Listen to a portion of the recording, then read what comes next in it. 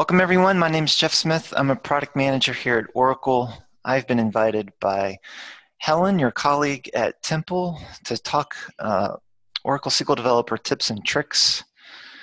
You can find my contact information here on the screen. If you email me, don't forget the .d because there are more than a few of us Jeff Smiths at Oracle. If you like to do the Twitters, um, pretty much everywhere you find me online. Um, my pseudonym, I guess, is at that Jeff Smith. So I try to be consistent that way. The screenshot here, that's my alma mater. Some of you may know where that is, especially if any of you are from Pitt. I won't make any Pitt jokes. I don't need to. You know what I'm thinking if I'm a West Virginia guy. I will not take it personally if you don't like me either. That's just how it is. So, a little bit of uh, advertising. Uh, Helen, do you want to remind folks what they're going to miss out on if they don't sign up? Sure. Um, so, registration for the PABUG Conference ends fairly soon. Um, this year, we've added an, an, an additional track for analytics and reporting. Also, a session on Sunday um, that's a pre-conference workshop on Ellucian Solution Manager, uh, an installation workshop. Excuse me, that's going to be 1 to 5 on Sunday. Um, and hopefully we'll see some of you there.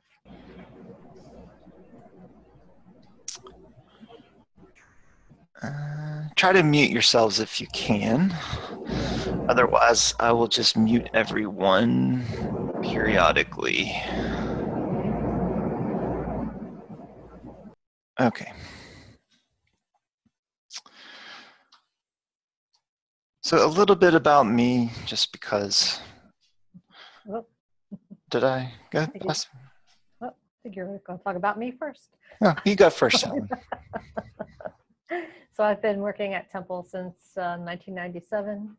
I started out as a mainframe COBOL programmer, and uh, in around 2011, we went live with Ellucian's ERP system that you all use. Um, then I my skill set changed to using Oracle SQL, uh, to writing SQL, PL SQL, and using SQL Developer as my tool of preference. And I met Jeff uh, through. Initially, I was Google googling how to do something, came across his website, um, started emailing him questions, and I emailed him so often that there started to be some name recognition. And I logged into one of his webinars one day, and he said, "Wait, are you the same Helen Sanders that just emailed me three hours ago. So uh, yeah, I stalked him until we became friends. and we actually finally got to meet face to face at uh, at the ODTUG Kscope 15 conference a couple years ago. Actually, four, yeah, 15. 15. So. And um, I don't want to say how long I've been doing Oracle since Oracle 734. I guess, if you know the database version numbers. But I've taken this weird professional track. My specialty is database development and administration tools. So I've been working with vendors to build software to make working with databases and programming with databases easier.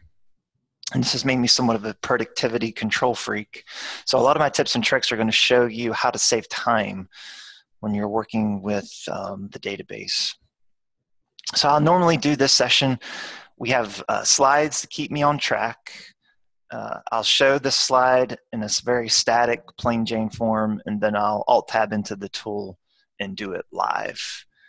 And we usually take questions as we go. I only see about 60 people on, so if you want to unmute yourself and ask a question, feel free. We don't have the 100 plus. Sometimes that gets a little chaotic. Or you can send the question over the chat too, and uh, we'll circle back. These slides are available online. I'll show you how to go get those. Actually, I'll show you that right now. If you go to SlideShare, or if you just Google, I don't know if it's going to come up because I just added these, but if you Google SlideShare and SQL Developer, you should find my SlideShare channel, and all of the slides are up there.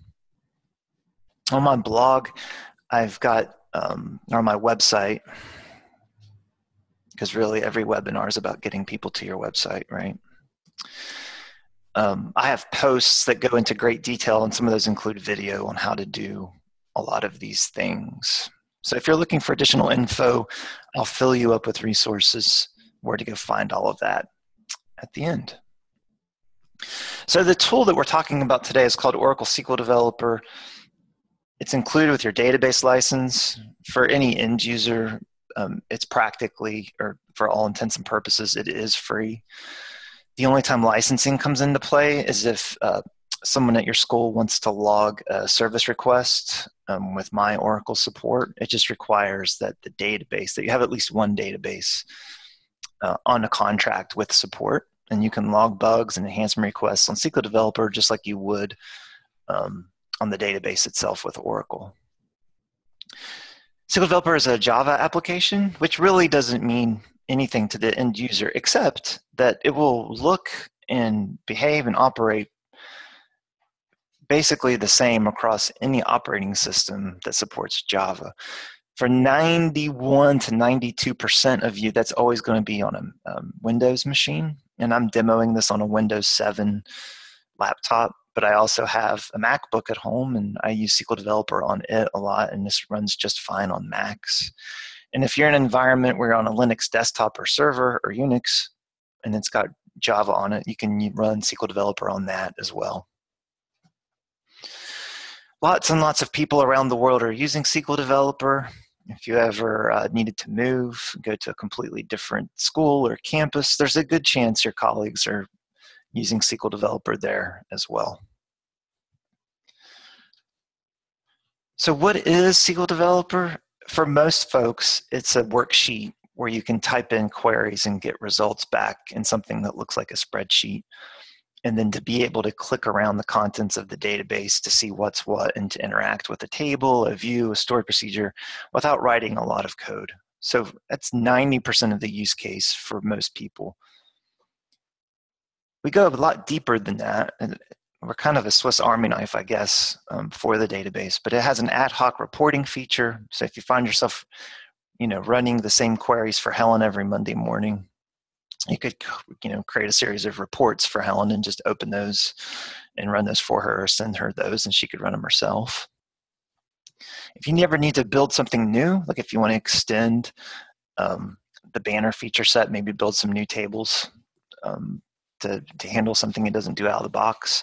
We have a complete design solution built into SQL Developer. So if you're ever used a modeling tool in the database world, it, it's uh, it would be very similar to any of those experiences. If we have any DBAs on the call, we have a complete DBA solution inside SQL Developer so you can manage things like security and storage and performance and backup recovery. Um, what else have we got there? Database settings. I'm not going to talk too much about that today, but if anyone wants to see any of those things, um, feel free to uh, chime in. I know none of you are worrying about third party migrations, but if you ever uh, needed to migrate something from like MySQL or Teradata or SQL Server or DB2, SQL Developer will do that.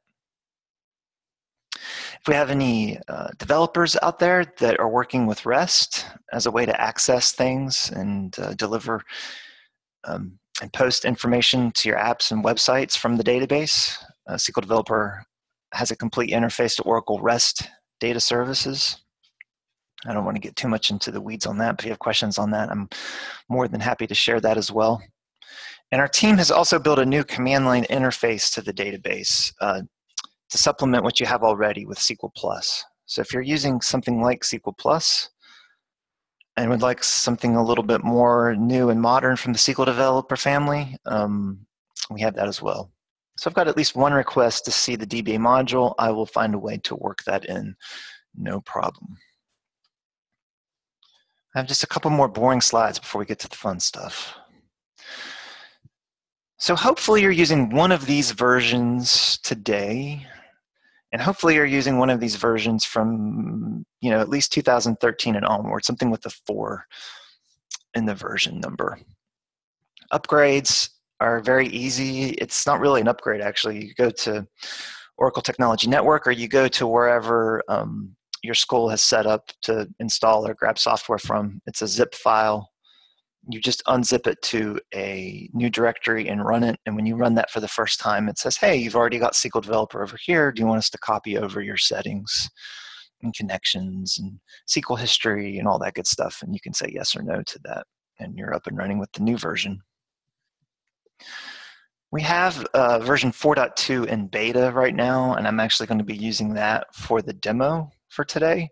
I won't be demoing uh, beta features per se, and if I show a feature uh, that you're not used to and don't recognize, feel free to ask me uh, what version you need to use that, and I'll I'll try to remember what that is. In general, I'll just assume you're on version 4.1 because that's the latest and greatest.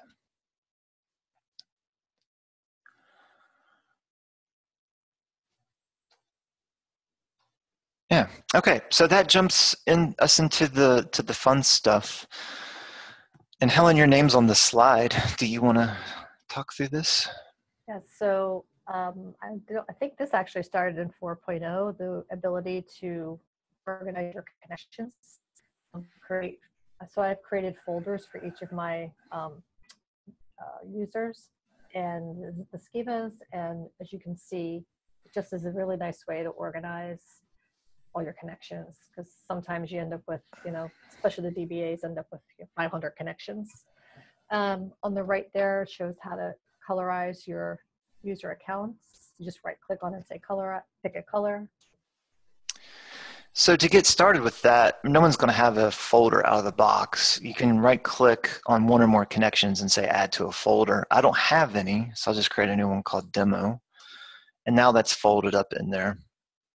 So if for some weird reason as a developer you have access to prod and you never want to go into prod, you can hide those in a weird folder so you don't accidentally get in there.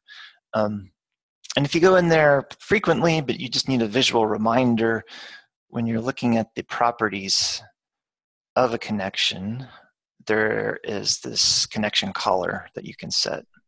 And when you set that color, it uses that same color scheme in a couple different places. You'll see it in the connection name text.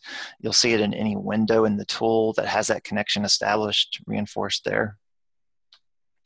The connection colors are new for Ford. The connection folders themselves, I think, have been there for a long time. So if you're in a version where you don't see either of those things, that's again another reason to upgrade.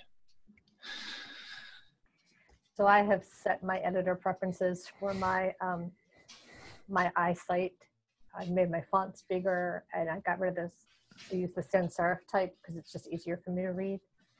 Um, oh, by, by the way, all the tips that I'm showing you, I've all learned from Jeff's uh, website and his tips and tricks past webinars. So it's really all attributed to him. This is one of the preferences I recommend everyone take a look at first because we ship with this really obnoxiously bad font. And the best reason I can come up with why we ship with this font is because we know it'll be on everyone's machine. So I guess we go with the least offensive. Um, this list will show any font available on your machine. Maybe a fixed width font if you're doing a lot of like explain plan or SQL Plus reports so that the, text lines up might be the way to go. And another thing you can do on database, and there's something in here called, um, actually, where is that? It's not database, it's under code editor. PL SQL syntax colors. All this text highlighting can be completely configured. So if you want um, a reserved word like select to be in purple and lowercase, this is where you would configure that on my Mac, which is my personal machine, I don't use this blue and black text on white. I go with a um, I go with a version of this, which is more old school, I guess, green screen on black. And you can tweak any of these elements that you want. If you go crazy and screw it up, you can always reset it to the uh, to the defaults.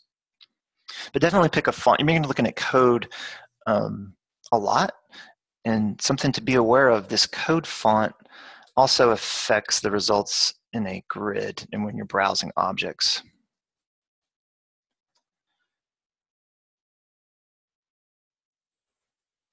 So when I run this query, um, the font used, oops, oh, it's disabled, that's no good. Live demos are where these calls get fun. So the font in this grid is that same font that we've set up here in the editor font. If you're ever looking at data that has an unusual character in it, um, and it's not displaying, 99 times out of 100, it's because you have a font selected that does not support that character. Okay. I should have two versions of this slide. I should have one that says, I will stop making typos in my screenshots. So everyone starts in the Oracle space learning how to write a query. And they probably write something like this, select star from one of the demo schemas we ship with HR, which stands for Human Resources. Surprise, surprise. So a couple tips here, and these are slightly newer features. There are two little grammar squiggles um, that the parser in, in, the tool has seen and gone, hey, there's more info here. So if you put your mouse over either of these squiggles, you'll you'll be given um, suggestions. So the reason I don't like select star from queries, I could actually do an entire talk on just this, but 99 times out of 100, you don't actually need every column. You should only ask for the columns that you want. And more importantly, if you're ever writing code directly into your application or report, if you use a select star from, your report or your application will eventually break because at some point someone will add a column or rebuild the table and the column order will be different and assumptions you've made on those columns will no longer be valid. Um, however, I'm lazy and I like to do things the quick way, so I still use select star from. But what I can do here is if I actually click on this text, it'll dynamically replace the select star from with the full column list. Um, and then I could always tweak things out that I don't want. Um, we also have this thing called the query builder, which is more visual way of writing queries and if you're not uh, afraid of using the mouse too much, you could come in here and just toggle off um, the things you don't want to see in your report. As I make these changes, the text in this worksheet is updated automatically to reflect that. The other thing you can do is you can ask the editor for help. So uh, if I hit Control Space Bar, it'll just pull up a list um, of things that, that come in.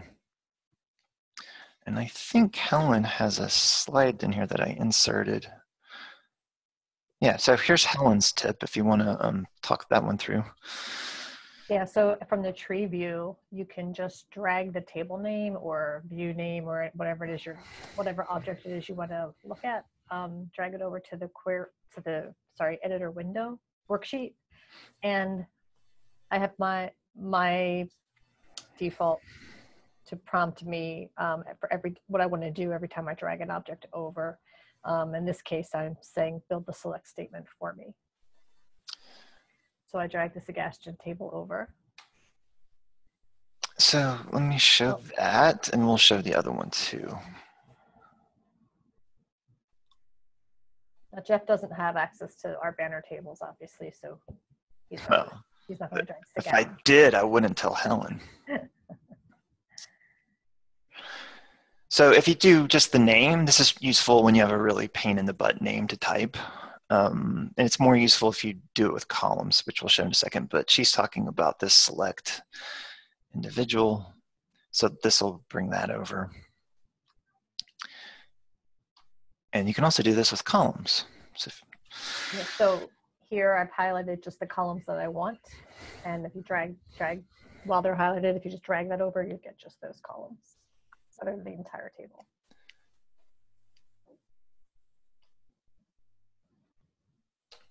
Now where this gets fun, um, if you want salary first, because that's what everyone wants to see first, you click salary first, then you click last name, then you click first name, then you click hire date, and finally you click manager ID so you know who to send that nasty email to. And then you drag and drop this over And you can see it's painting the cursor where I move the mouse, that's telling it where it's going to drop. And I say object name. By the way, if you're always doing the same thing over and over again, just uncheck this prompt every time and it'll default to that. And these options are also stored in the preferences in case you ever need to change it back. Oh, that's great. Did we find a bug? No. Okay. So uh, salary, last name, first name, hire date, manager ID. So it observed that click order um, when I put it in there. So you have like four different ways to avoid select star froms. One last thing. Um, I'm assuming Banner has views and lots of views and probably views that build on top of views. Is that right? Yes. Okay. And people might go, why is this so slow? it's just a simple select star from. So here is a second little squiggly line, and you're not going to see this until you're on 12, Oracle 12c. And uh, I know some of you are piloting 12c or already gone to 12c or thinking about going to 12c. Eventually, everyone will be on 12c. But when you get there, SQL Developer will see that, and it's going to take advantage of this new feature where we show you not what you've got to run, but what the database is actually going to run when you ask for that query. So when I click this and then I format it, which is Control F7, what I actually have, or what I'm actually asking the database to do, is run this 415 line query. So if you've ever wondered, hey, what is this um, I don't know, Helen, give us some view and banner. But if you ever wanted to, say, what's this view really doing? Yeah. Use this trick. Of course, you can undo this. You can undo the format and you can undo the replace. So Jeff, uh, we have a question. Oh, cool. These are so much easier when I have a, a co-presenter. Keep me honest. You have version 3, would like to upgrade, but have many preferences set. Do those migrate, or do I need to save? So this is what I like um, about the upgrade kind of process for SQL Dev. You can put, or you should put, version uh, new right beside version old and run it. And the first time version new pops up, it'll be a little dialog that says, We have found your settings from version 3, version 2, version 1 would you like to pick one of those to move over? And when you say yes, it'll copy all that stuff over. And then use version new until you no longer find yourself needing to go back to version old, and then you can just delete that old that old copy off your machine. Now, if you ever need to uh, use the tool across multiple machines or multiple networks, or you have an install at home and an install at work, and you want to maintain your preferences across multiple machines, there's a way to make that happen too. It's a little bit too advanced for show and tell, but we have blog a blog post on that if you want to see how to do that. And yeah, if something's important, you probably should back it up. Um, so if your school IT's department automatically backs up your um, Windows machine for you, and it includes the app data folder, which it probably does. The SQL developer stuff will get um, preserved as well. So I just showed you a few things to get help for queries in our GUI, but I talked about this new command line interface too. This is the the new command line interface for um, Oracle database. So if you ever want to run a query here and you want help with a query predicate, you can just hit the tab key and it'll pull up a full list of columns to choose from. So I can say salary, F, and then automatically, and then E. It doesn't auto-complete because there's two of those, but if I do EMP P tab, it auto complete that. And I said stars are bad, so you can actually cursor back up to the star and hit tab again and just pick the ones that you want. So maybe um, sysdate, row num, hire date, uh, first name, employee ID, and then just run that and get that back. And I have an invalid relational operator. So we just, oh, so I just make the where clause not stupid, where salary equals or is greater than my salary, which is one. And there's that query. So whether you're using our software in the cloud, on, on your desktop, in your command line interface, a lot of these features should carry across all of those spaces. Here's another Helen tip. So this, um, this is for those of us who want to know the relations between the banner tables, the parent and child relationships. The way I usually do this is, again, if, I, if I'm looking in the tree and I find a, see a table name, um, drag it over and then click the, or no, I'm sorry, highlight the table name, click the model tab. And here Jeff has done it with the query instead, I believe. So this assumes you have foreign keys which I can't always assume will be there, but Helen tells me um, Banner's done a good job with relational integrity in the database. So you have all these tabs across the top. This is new for version 4, this model page. And it might take a second the first time you click on it because it actually loads up our, our data modeling tech. Um, but you just pay that price once, and then every time you click on this going forward, it should be much faster. But this will give you the data modeling perspective of the departments table. So what it's going to do is it's going to walk the dependency list one level up and one level down. So if a table is related to departments, it'll show that. And if departments is related to a table, it'll show that as well. So here's that diagram. So these are for looking only at this point. And if you ever want to do anything with this diagram, move stuff around, change it, generate DDL, make a change to an object, version it, then you click this big fancy button. And that opens this set of objects in the data modeling component of the tool, and then you can go crazy there.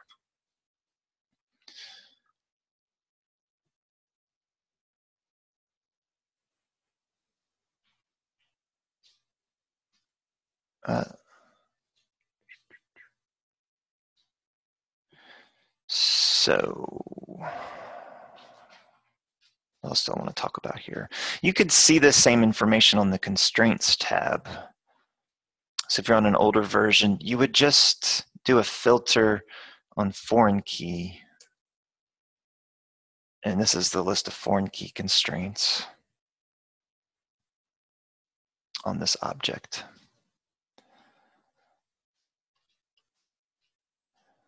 So I tried to have a academic theme to this slide deck and I like playing with pictures.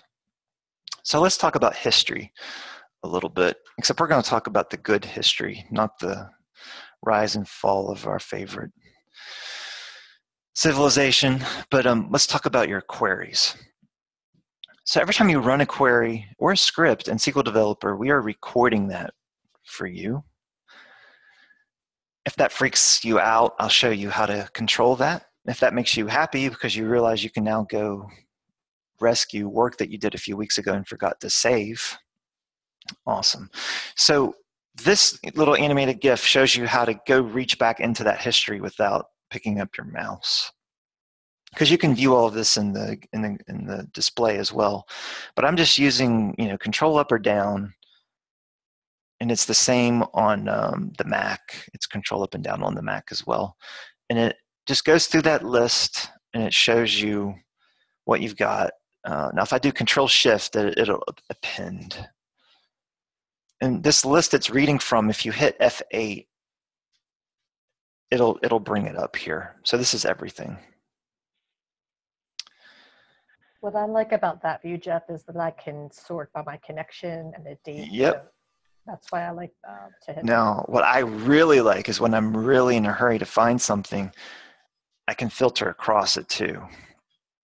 So if I'm working on a specific module, like maybe I'm just working on, um, I don't know, alumni stuff, and there's a table that you want to just see those queries, just type that object name in here. And that list will um, now be the only thing that we cycle through in the command history.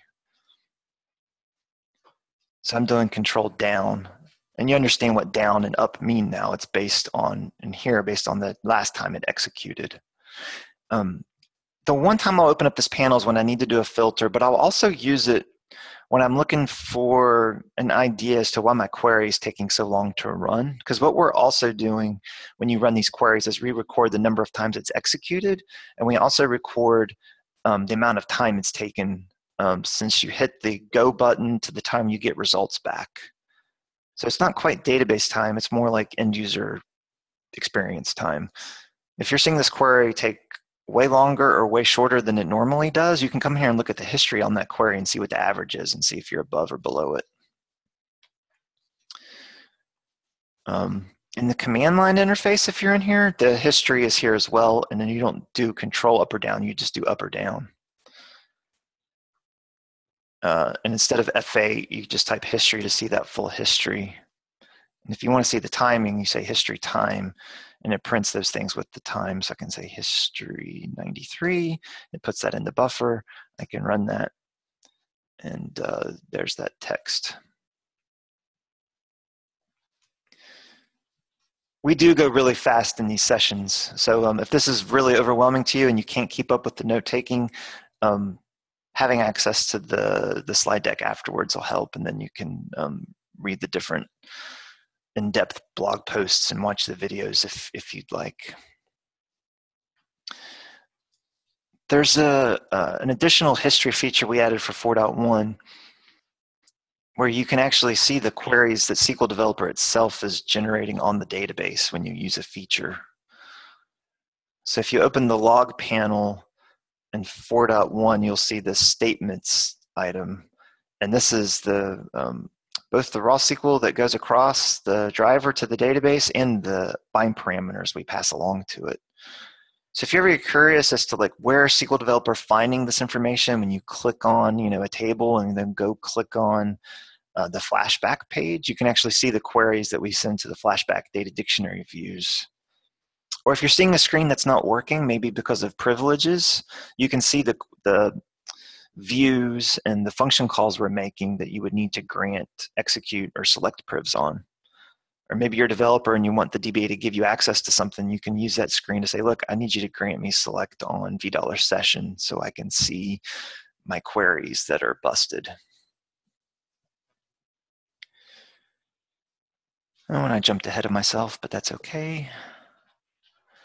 Okay, so um, execution plans, let's talk about those. It's great when the optimizer comes up with a good plan. And 95% of the time, you can just write your query and worry about the data being right. And uh, uh, the optimizer does the rest. I mean, that's really why you're paying us a lot of money is to make sure that your your data is consistent and you can get access to it very easily and quickly. But every now and then you manage to find a query that doesn't work very well at all. And this is when you might want to have the ability to say, you know, why? What is what is the database doing? So let's talk about uh, explain plans and execution plans.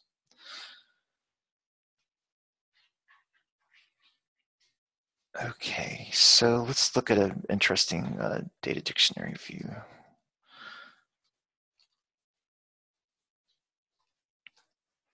So let's say I'm not going to run this, but I'm going to ask the database to give me a guess as to what it's going to do, like what's the cost going to be and what are the steps, I'm going to hit this button right here. And it'll bring back the list of steps it's going to take to go what looks to be this very simple query. It's actually not simple at all. Look at all the different um, tables it has to hit to bring this data back.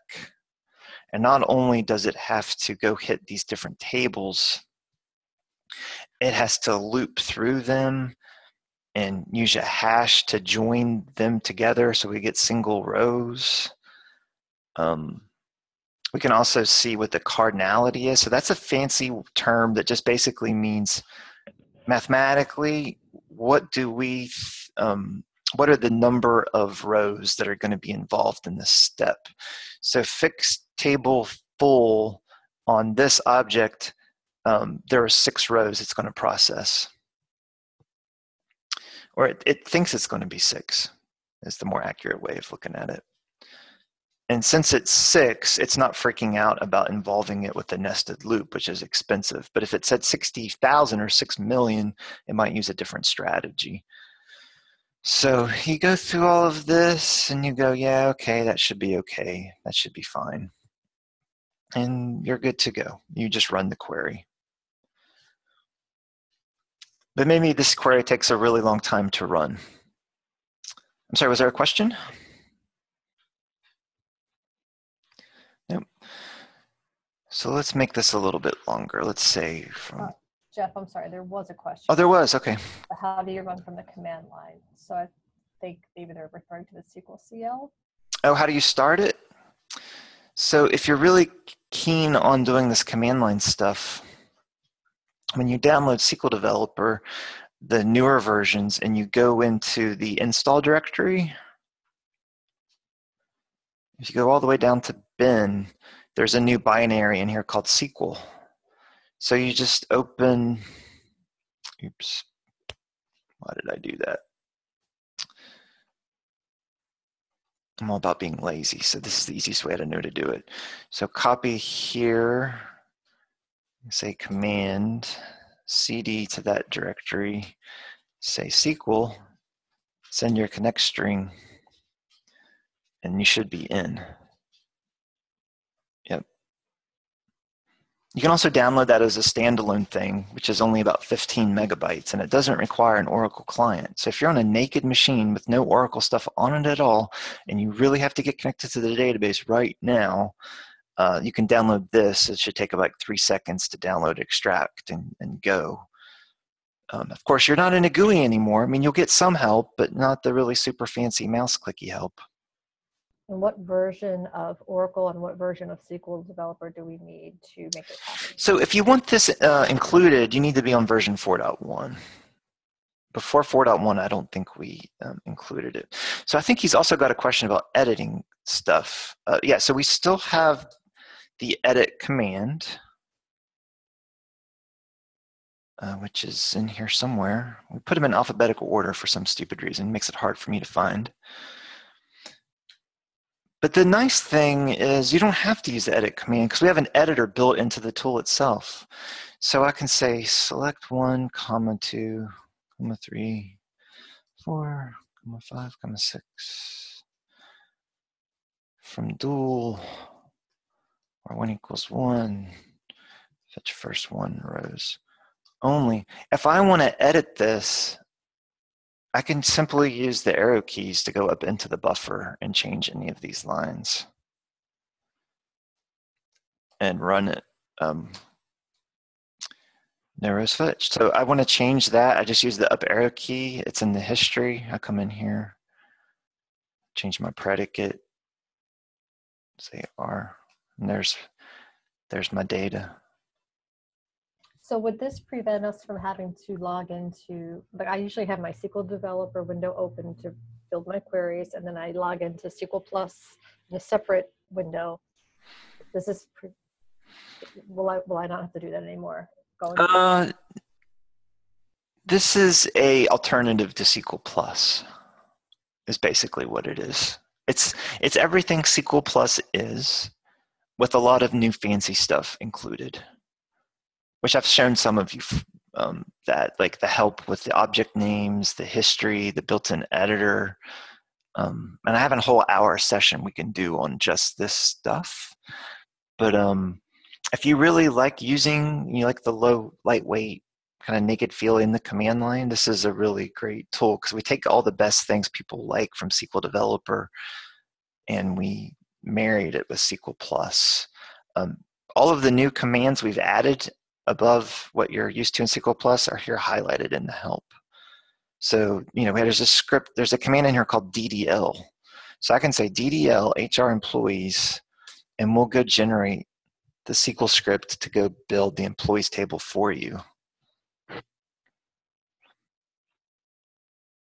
And it does take a while to run. And then uh, while that's running, we had another question. What kind of permissions do you need to run this? You just need um, the same permissions you'd have otherwise. So you need uh, read, write, execute on the files, and in the database, you need uh, the connect privilege to get in, and then whatever else you wanted to do work-wise as you would have. And you should be able to use the same Oracle database user that you use in SQL Developer to, um, to use this tool. And is that the same case with the explain plans? So for explain plans, what you need to, um, to do this, uh, I think you get out of the box for your user the ability to generate a plan. What you might not get out of the box um, is the ability to access something called a plan table, which is where these plans are stored. Um, so you would just need to ask your DBA for access to the plan table.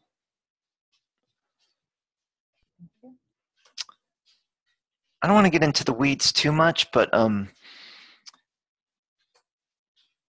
there's something called an explain plan, and then there's also something called uh, just the plan. So an explain plan means you're asking the database to guess or to, to show you what the plan could be for your query. If the query is already run and it's in the it's in memory in the data dictionary, or if it's cached, I guess is the better way of saying it, you can click on this little drop down button here and we'll show you the plans that are in that are known to the database for this text. And if I click that, it'll open up that cached plan. Now, so what you need there is access to the $V dollar SQL plan data dictionary view. These plans could be, the way the plans actually run in the database compared to what you get when you do an explain plan can be wildly different. Um, and you can see if there are differences, I can, I can do a compare. And in this case, the differences are wildly different. We also have this thing called a trace, or it's actually a, a SQL Plus feature called auto trace, set trace on, but our GUI version is kind of nice too. So what we do here is we run the query, and instead of showing you the results of the query, we show you the plan for that query, and we also show you the session statistics that were generated just for that query. So you can see how much CPU was used, how many sorts happened, how many physical reads happened, and this can give you insight as to what's taken so long as well. And it's a lot easier than actually doing a full session trace, which most developers won't have the access to do anyway. Now, if you uh, are at a site that has licensed in the database something called the tuning pack, and if you don't know the answer to that, don't use this feature. Go ask your DBA. You can also ask the database to help you tune your query for you. Helen's giving me 15 minute warning. So let's get rocking and rolling. Um, you know, using uh, the mouse to do everything in a GUI is very tempting, but it can also slow you down. So um, if you want to go super fast, you can put the put that mouse down. And this is me trying to make a cute joke at Temple's expense. All right, so if you want to get, was it funny? Thanks for pretending. Um, if you want to get to an object over here in the tree, a lot of people just come over here into the tree and be like, okay, it's in here, it's in here, it's in here, and they'll double click on it. But if you're if you have code in your worksheet, you can actually click into your to your objects. So I'm using the control key, I'm mouse hovering over this text and I'm clicking. You mean it doesn't exist? Yes, it does. Uh, it's employees. It wasn't lying.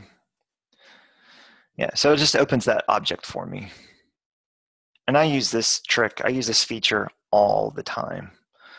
Um, uh, so if you want to see it again, let's do it slow-mo. H-R-E-M, I'm going to ask for help. I'm going to do this view instead. I want to go see what's wrong with this view. So I'm going to take the control key, hold it down, take my mouse, hover it over this text, click that link, and let it open that view for me and I can see my errors. Key region ID isn't good. Um,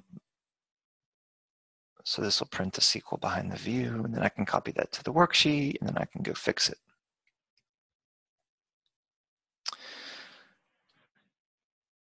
Um, another thing, people love sending data to Excel, which I hate, but I realize it has to happen, so I'm not going to preach on that. Let me show you a few tricks on uh, these grids. So most folks learn this first. They know they can right click on a grid and say export and then walk through this wizard to get their data out. And I, I tried to figure out just how many clicks that takes. It's something like seven or eight clicks to go from that grid to that uh, text delimited stuff on the right. You can do this all in one go with no clicks at all. In SQL Developer, you can add this comment to your code.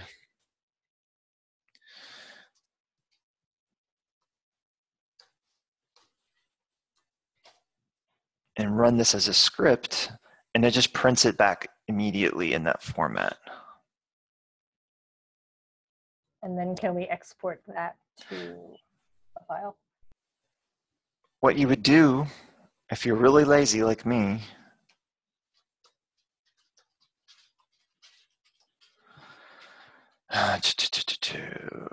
uh, what is that? Users, JD Smith, documents, peeps, but I want JSON.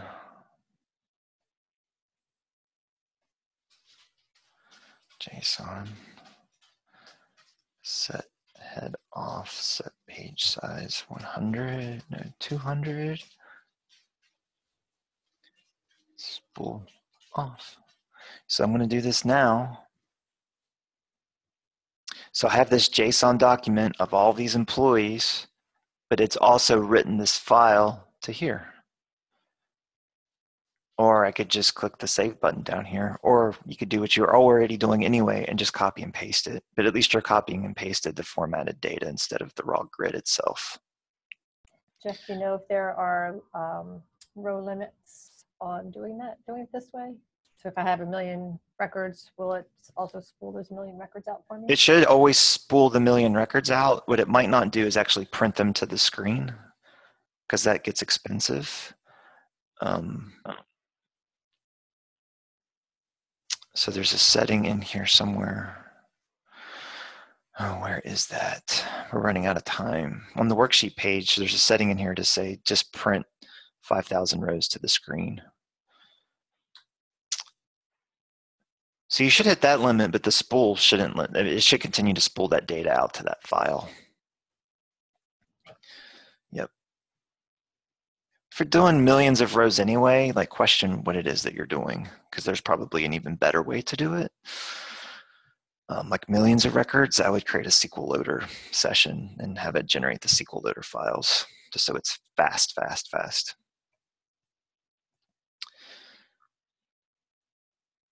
And this works in the command line bits as well. Surprise. Um, we're at 12, I've got 10 minutes left. So a lot of folks just don't like the tree. So I'm going to show you a few tricks for this connection tree to make it more uh, palatable and then give you some alternatives to it completely and some of these tricks uh, Helen has reminded me of. So the first thing you can do is if you have 1500 connections, start to maintain and organize them by connections folders.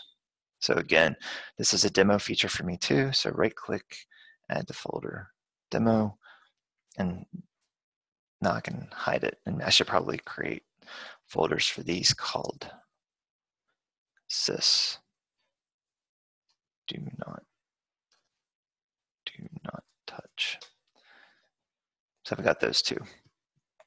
Now the other thing you can do is actually trim this tree down so you don't have everything under God's green, God's blue sky um, to get in the way. I mean, if you're just looking at tables, views, and stored procedures, you don't need to see anything else.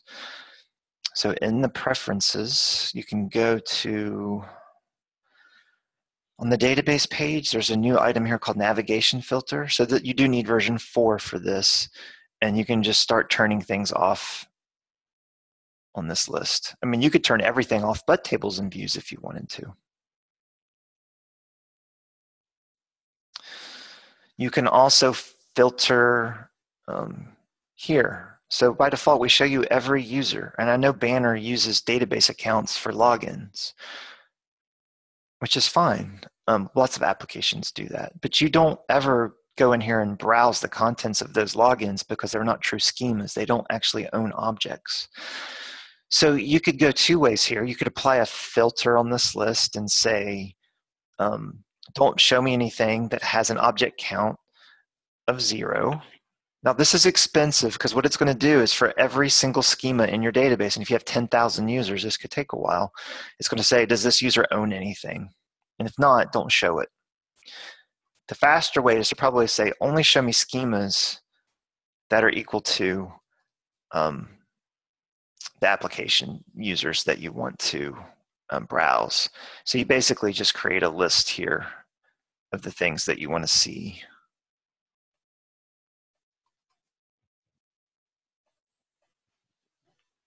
So that's a lot less drilling and clicking. All that said and done, you might still hate the tree. So you can also right click on a connection and ask for a schema browser. This guy right here. And that gives you, instead of a tree to browse, it gives you a collection of drop downs. So it's just a different navigational aid.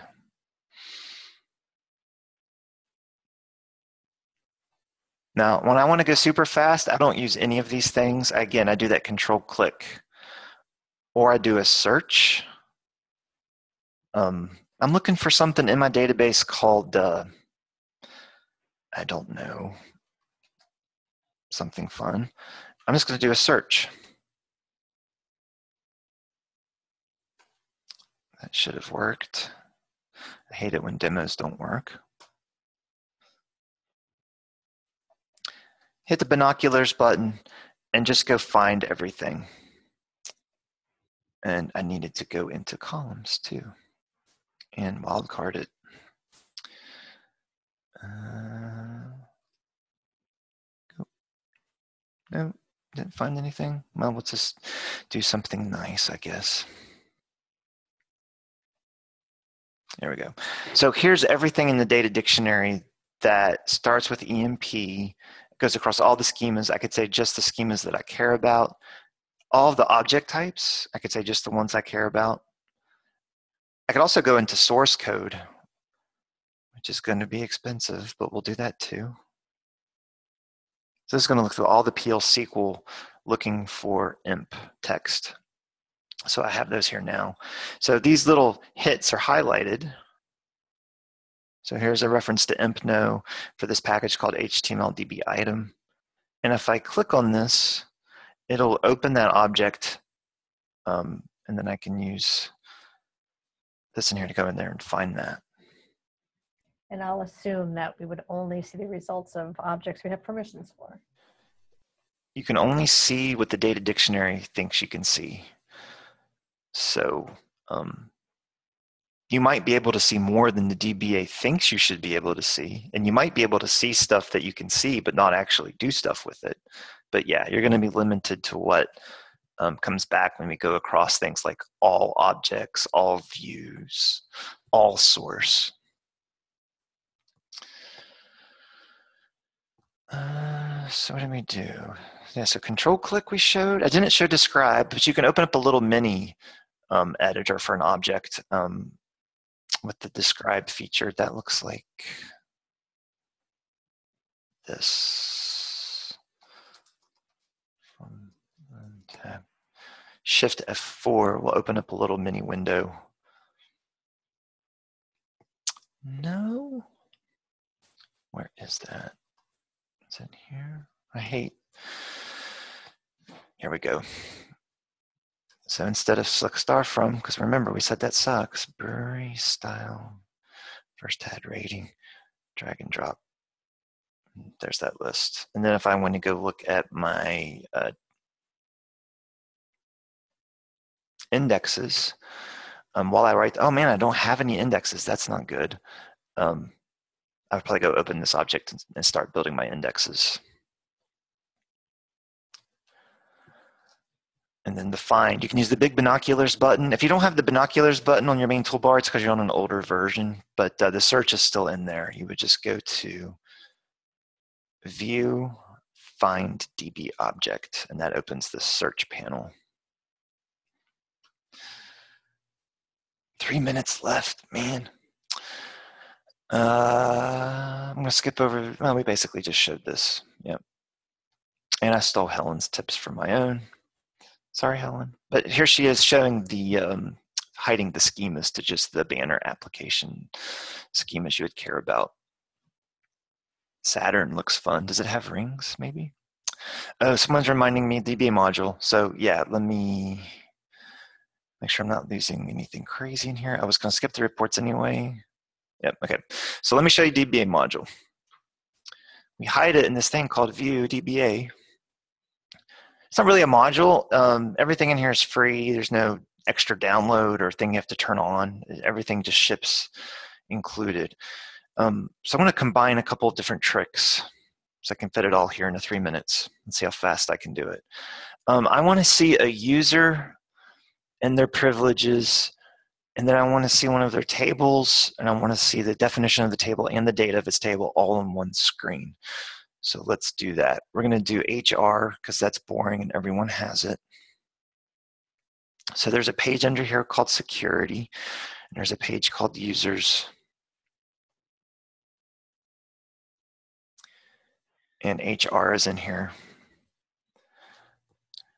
Now, if I double click, it opens the editor here just for that user. And I can see what their sys and object privs are. Uh, don't have any object privs? That's weird. So let's go give them one.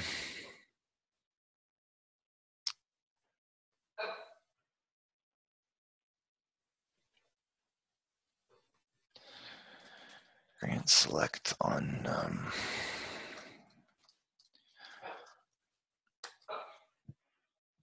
and then yep. So if you want to see uh, sysprivs and object privs on the same page, here's a trick. Grab this little widget here and drag it down. Helps if you get it. Yep. And then click which one you want to see. Now, I also want to see their table uh, employees. So that's a schema object. I have to come back up here to get to that. And I want to see it at the same time as the other stuff, but it went away. I mean, it's still here. Oh, no, I lost it. So let's go back and do that again. First thing I'm going to do is I'm going to pin this object so that it does not go away when I do this. And then I'm going to drag this down again. And we're going to click on Object Privs and SysPrivs. Now I really want to see these two things at the same time. So what I'm going to do is I'm going to ask for a new set of these doc tabs, document tabs. And now I got it. So I've got my employees table here, and I've got the privileges for the user that owns that table here. Now I might want to see not just the data, I'm sorry, the columns, I might want to see the model and the data too. So I can do this split again.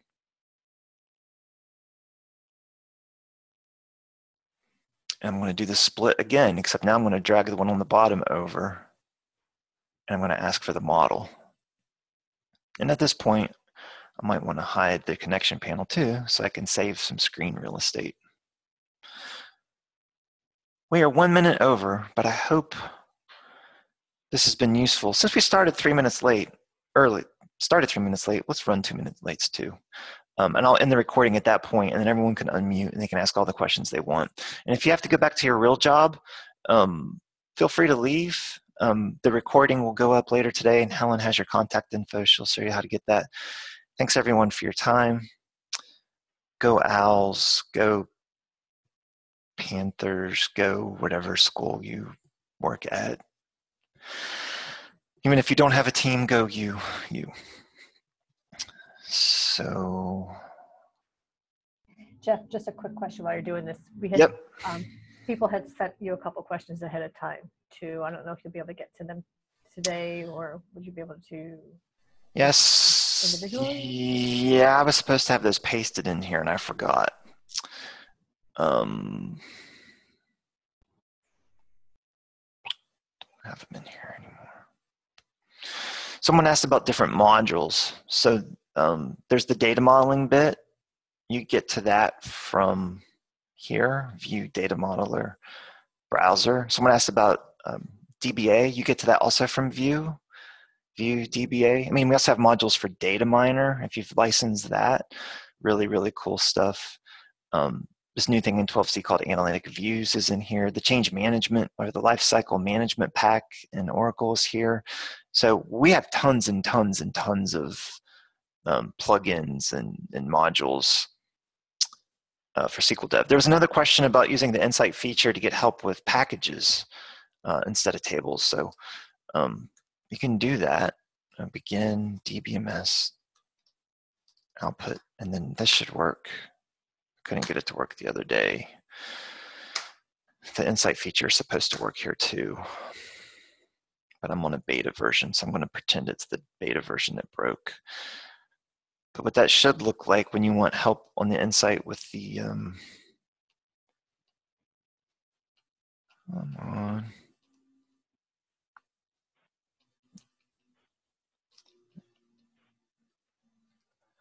CRUD.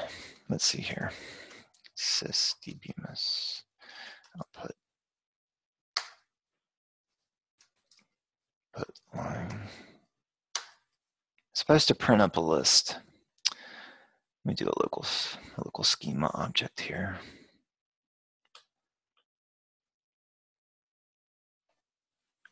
Add job history.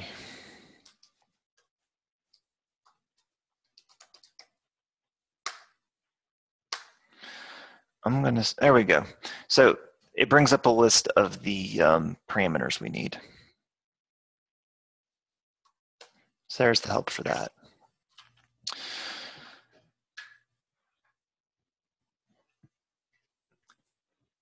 All right, uh, I'm not gonna unmute everyone's line, but you can unmute yourself. And if you didn't join the audio, this is your last chance to ask a question via the chat. And if you want the deck, slide deck. It's on SlideShare, which is owned by LinkedIn, which is owned by Microsoft. um, but the, the, all the slides are here, and the um, all my tips and tricks are on my website, thatjeffsmith.com. I'll uh, share all the, the links in a thank you message. Okay. So someone's asking about docking windows. Um, you can dock stuff all over the place.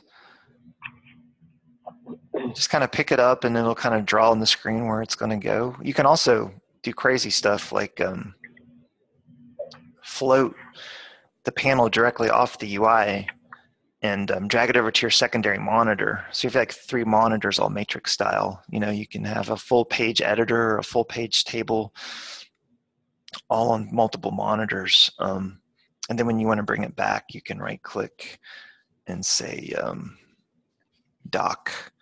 And if you really screw up your display, you can always come into here to um, window and say reset Windows to factory settings. That doesn't reset uh, Microsoft Windows to factory settings. It resets your SQL Developer desktop to uh, factory settings.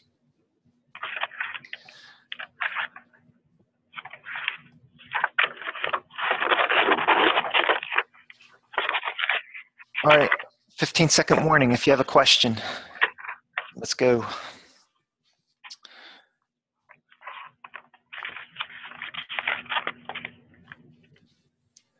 Thanks everyone for your time. This is what I look like if you're morbidly curious. Um, I probably have even less hair now. Uh, jeff.d.smith at oracle.com is my email can tweet me at, at that Jeff Smith, or you can just send your questions to Helen, and Helen will send them to me. Because now I'm screwed, and I can never ignore her questions ever again.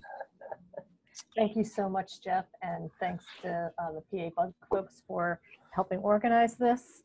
Um, I really appreciate it, and it looks like we got a lot of uh, great comments. People are happy with us today, so thank you, everybody.